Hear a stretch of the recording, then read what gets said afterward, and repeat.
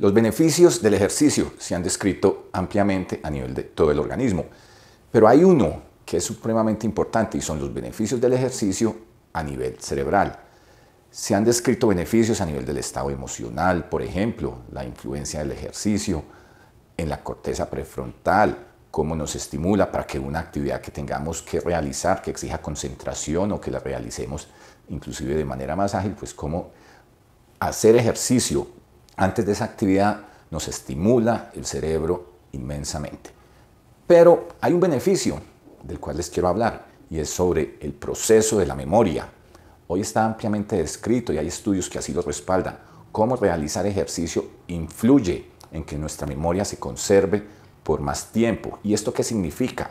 Que lo que normalmente hemos conocido como la demencia senil, pues la podamos retrasar. ¿Y esto cómo se genera? Sucede que el ejercicio, debido al incremento en la frecuencia cardíaca, la oxigenación de los tejidos y todo eso, pues hay un beneficio que se da precisamente desde el estímulo del músculo, se liberan mioquinas y generan un efecto a nivel del cerebro, estimulando que se libere otra proteína que va a influir sobre el hipocampo.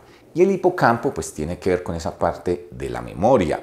Entonces lo que se ha visto es que estas mioquinas estimulan el factor neurotrófico derivado del cerebro, el cual tiene efecto sobre el hipocampo y entonces se ha visto lo que se conoce como una neurogénesis. ¿Qué es neurogénesis? Pues se ha descrito como generación de nuevas células y también de nuevas conexiones a nivel cerebral entre una neurona y otro.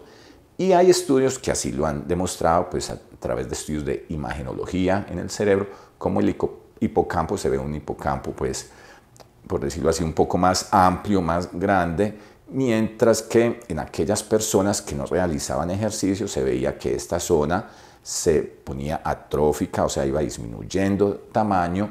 Entonces, este es uno de los grandes beneficios a través del ejercicio. Pero viene la pregunta importante, ¿cuánto ejercicio entonces debemos hacer realmente para estimular el cerebro? Los estudios son claros. Una sesión de 50 minutos de ejercicio físico entre realizado con una intensidad moderada a fuerte ayuda a que su actividad cerebral pues sea mayor y que aquellas actividades que requieren respuestas rápidas, que requieren concentración y todo, usted las pueda realizar de una manera más eficiente. Pero entonces volviendo al hipocampo, ¿cuánto necesitamos de ejercicio? que han demostrado los diferentes estudios? Necesitamos que realicemos al menos tres días a la semana con duración de 50 minutos preferiblemente y con una intensidad, cuando hablo de intensidad me refiero a nivel de exigencia y que este sea entre moderado a fuerte. Este moderado a fuerte depende de, por ejemplo, la edad de la persona, del mismo nivel de entrenamiento y cuál es la edad a la cual debemos iniciar el ejercicio físico. Entre más temprano lo iniciemos, pues será mejor. Pero esto no significa que una persona que nunca haya hecho ejercicio, entonces sea tarde para iniciar este nivel de entrenamiento a los 50 años. No, ningún momento es tarde, es el momento para iniciarlo. Debemos estimular a esa persona a que empiece un programa de ejercicio físico.